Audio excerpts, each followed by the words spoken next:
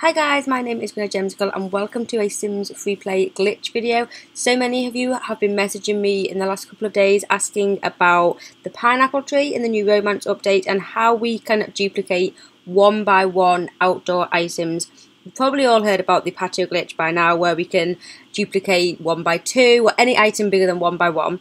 But up until now I haven't known how to do outdoor items that are one by one but I have figured out a way finally. You can use it for your pineapple trees in the community event that we are currently doing as I'm recording this video, but of course you can also use it for if you go into the outdoor furniture, outdoor decorations, so something like the stick vase that is one by one that costs 35 SP.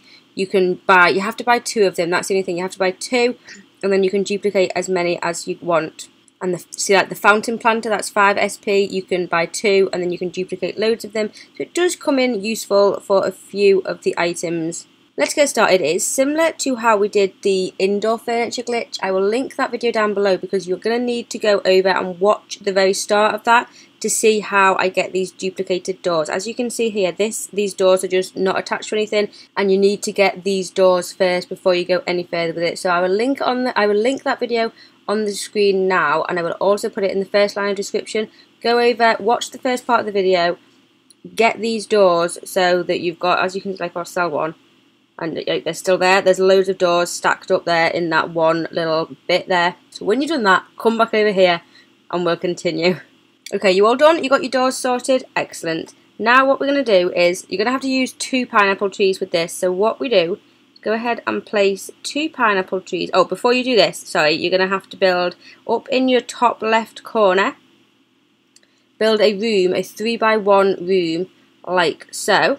Place your pineapple trees just right next to it there.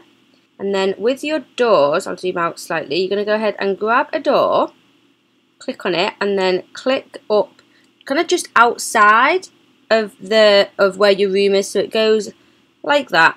You see it's flashing red and then come back and click on the tick so you can see that door is still there flashing red and then just drag your room in cancel that out by pressing the red X. Don't press tick.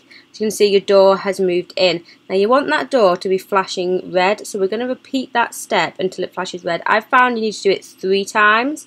Could be different for you but for me I've found three times. So there we go. We've done the door. Press tick. Drag the room in again. And it's still not red. So let's do the step again. Grab a door. Put it up there press tick drag the room in this time yeah this time it's turned red as you can see like that that is what you want now so now so what you want to do now is grab your bottom pineapple tree or whatever it is that you are duplicating and take it up towards the top place it over the top and then cancel it out with the green sort of back button and then that should happen. So your top one is gone, the bottom one is there.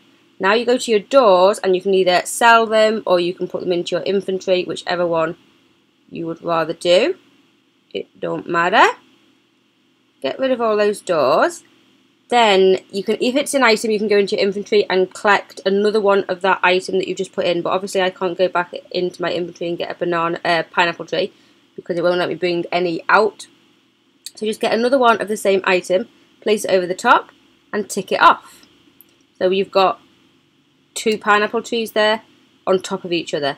Then into your room section, drag it out and cancel it. Drag it out and cancel it. Don't do it any more than twice, I would recommend, because with this glitch, lots of people do it over and over and over and over again, and then they end up with thousands and thousands of the item that they are just stuck with, and it's a nightmare, and their game's lagging, and they can't get rid of them all, or it takes hours and hours and hours to get rid of them all, so no more than twice do it. And then, as you can see here, let's just drag it out. So we started just with two, and as you can see now, I don't know how many we got. We got maybe about 10 from doing that.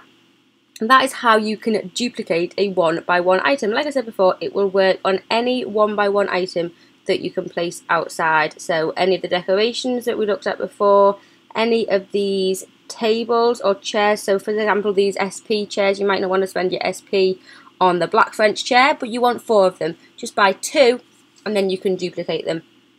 there you go guys, that is how you can duplicate outdoor one by one items. If you are having trouble with it, you can leave a comment below or your best bet might be to head over to my Facebook page. You can post a screenshot over there, it's just Greenoid Gemzicle. And then if I can see a picture of what you've done, it may help me to sort of help you a little bit more than just a comment.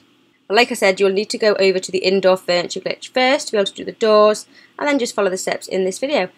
Thank you so much for watching. Thumbs up if you enjoyed and it has helped you out. Subscribe if you are new, and I will see you guys soon for a new video. Thanks for watching. Bye!